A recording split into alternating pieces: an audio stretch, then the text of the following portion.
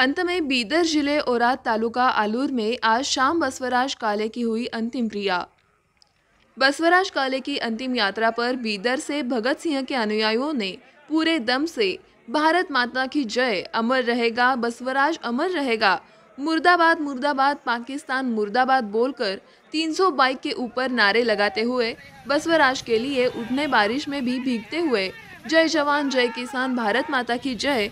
पूरे बिदर के आसपास के सभी गाँव वालों ने भी भीगते हुए सुबह से लेकर शाम पाँच बजे तक वीर योद्धा बसवराज काले दर्शन के लिए लोग तड़प रहे थे।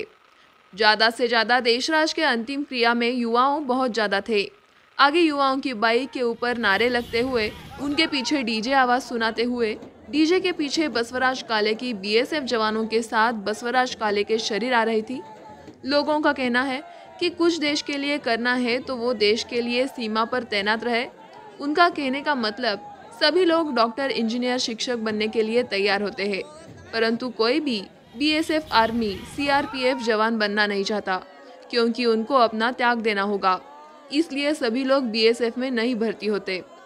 सिर्फ़ गरीब ये लोग सीमा में ठहर कर अपनी भारत माता के लिए शहीद होते हैं। बसवराज काले की अंतिम क्रिया पर तकरीबन छः हज़ार लोग मौजूद थे। दो तीन घंटे बारिश हुई, परंतु लोग वहाँ से हटे नहीं।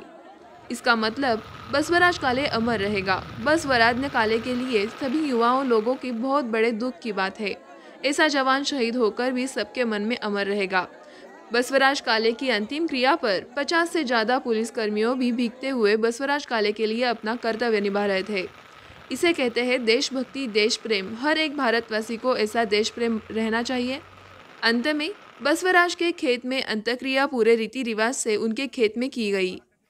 Report by Ambadas More, Bidar, Karnataka.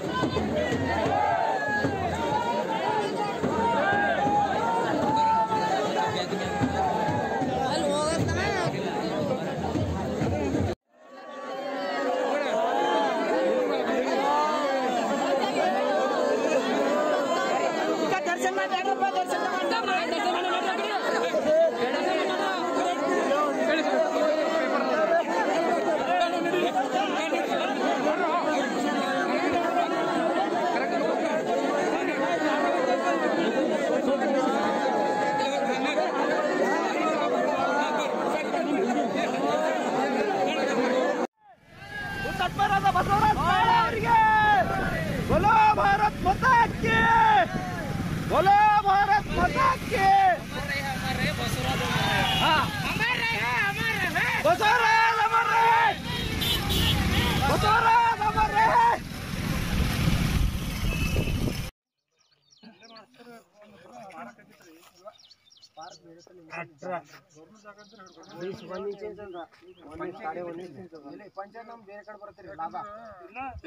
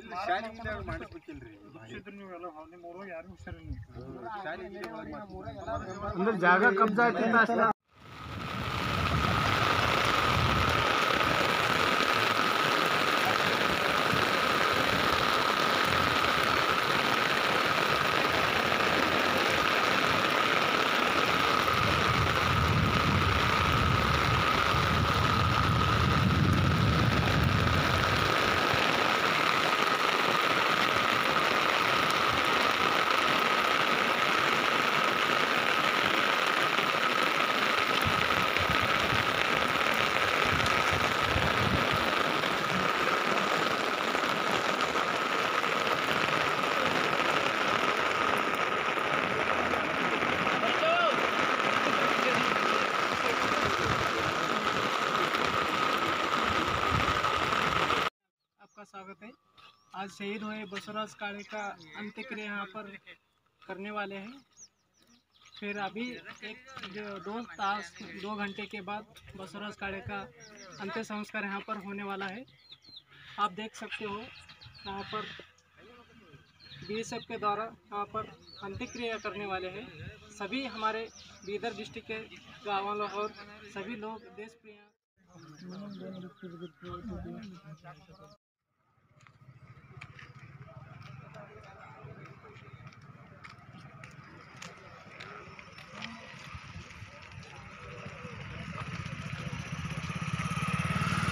Heavy Nagro.